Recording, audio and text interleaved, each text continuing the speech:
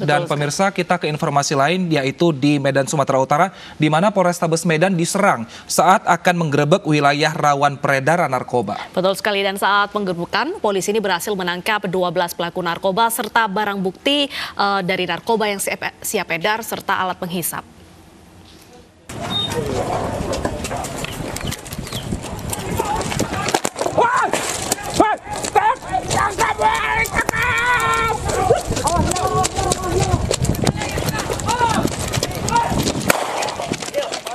Inilah aksi kejar-kejaran antara kepolisian dan pelaku narkoba di bantaran rel kereta api Tembung Medan, Sumatera Utara. Polisi menangkap lima pelaku narkoba dengan barang bukti obat terlarang siap edar.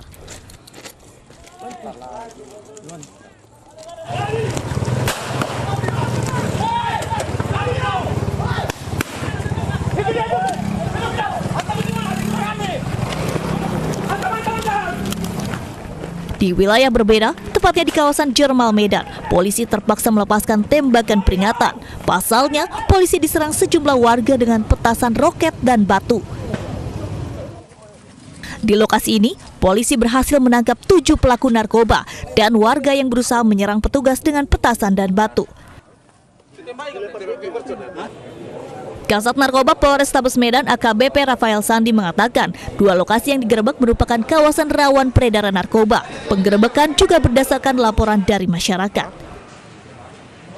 Uh, ada 24 gram terdiri dari uh, lebih dari 30 paket uang 840 ribu dan sekarang masih kita dalami untuk jaringan dan juga uh, peran masing-masing. Dua lokasi ini merupakan target apa? Ya betul. Jadi target dua tempat ini adalah target dari Sat Narkoba Polrestabes Medan untuk melaksanakan gempur basis-basis narkoba di wilayah Kota Medan. Dari penggerebekan, polisi menemukan alat isap sabu, senjata tajam, alat timbangan, dan sejumlah paket sabu seberat 24 gram. Untuk mencegah peredaran narkoba, Sat Narkoba Polrestabes Medan akan terus menggerebek perkampungan-perkampungan yang rawan akan peredaran narkoba.